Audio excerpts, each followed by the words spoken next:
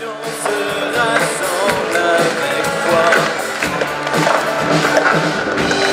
D'une génération qui te joie.